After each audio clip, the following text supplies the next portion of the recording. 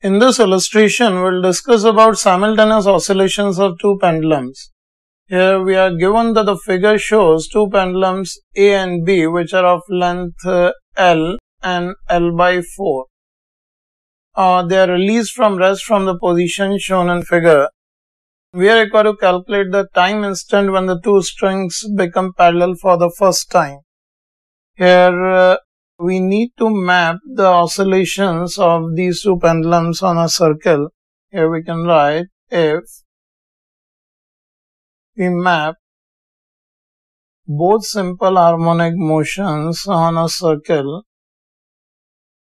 we can see their uh, angular frequency of oscillations will be omega 1 for A will be root of uh, G by L and omega 2 for the pendulum B we can write it as root of uh, G by L by 4. So this will be twice of uh, root G by L.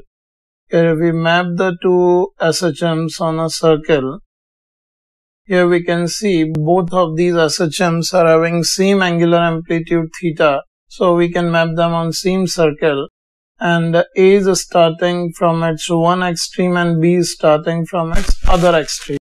So when A is moving in this direction, B is moving in this direction, we can see B starts moving with an angular speed omega 2 and uh, on circle A starts moving with angular speed omega 1. Here we can see B is moving at twice the angular speed. So say somewhere here when A reaches on the same line, B also reaches here. So we can see the angular displacement of B will be here alpha 2 on circle.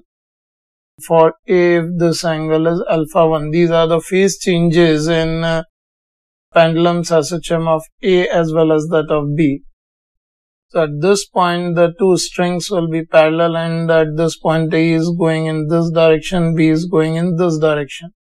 So somewhere on the left side of uh, the mean position, they are meeting where uh, A is located. So in this situation, say if both starts at t equal to 0 and at time t, they are on the same uh, angular position with respect to this vertical position, we can say if after time t both strings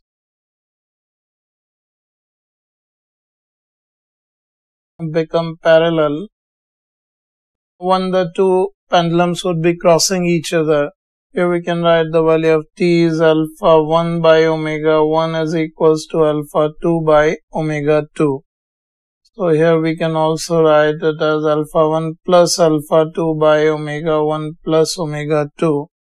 So here alpha 1 plus alpha 2 in the situation is pi divided by omega 1 plus omega 2 is 3 times root of uh, g by L.